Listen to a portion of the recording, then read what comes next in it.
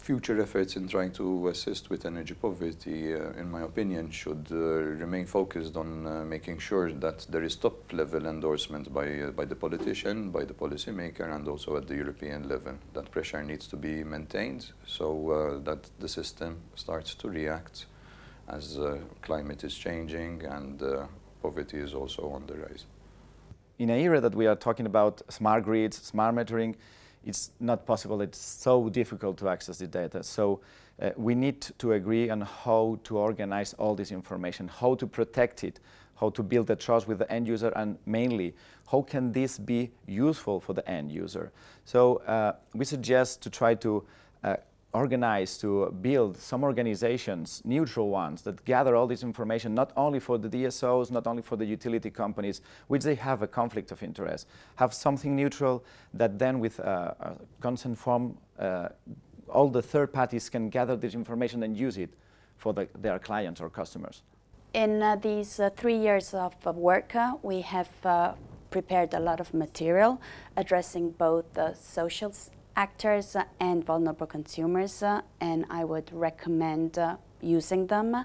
and uh, building on them to prepare new material,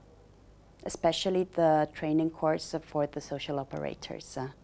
One of the key learnings to emerge from SmartUp is that while it's important to deliver energy saving advice to households, both in terms of interacting with a smart meter or making behavioural changes in their home, I think one of the key issues needs to be in being able to provide a basket of support to households and this might include energy efficiency measures to retrofit poor housing, um, provide support to address fuel debt or other issues that households which we know who are in energy who are in energy poverty uh, will be suffering and this needs to happen across EU member states at the EU level and it needs to start from at the bottom from the smallest of the localities up to the national policymakers because no house, household should suffer from a geographical lottery in terms of whether or not they're able to access the support that they need and have a right to.